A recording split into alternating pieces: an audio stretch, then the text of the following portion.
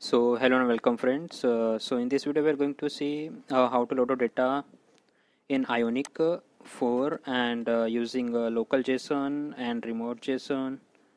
And if we have any spring boot rest api then how to load data from spring boot api also.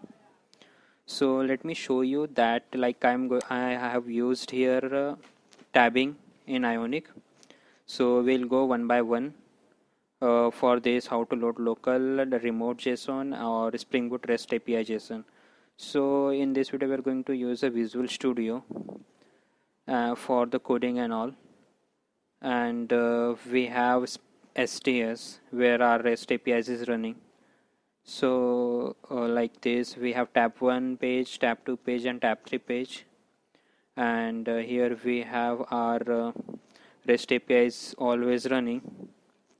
So let's start uh, one by one, uh, like uh, how to do the loading uh, JSON data from the local or remote and uh, Spring REST API. So as you can see here in asset folder, I have added one JSON file also.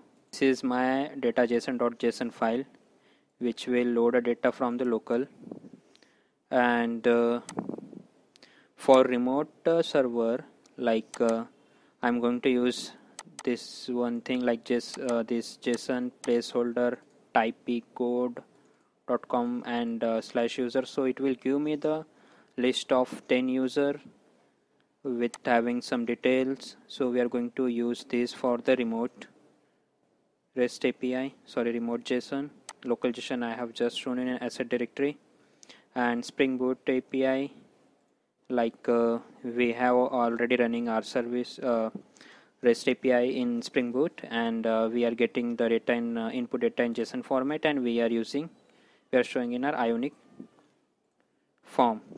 So let's start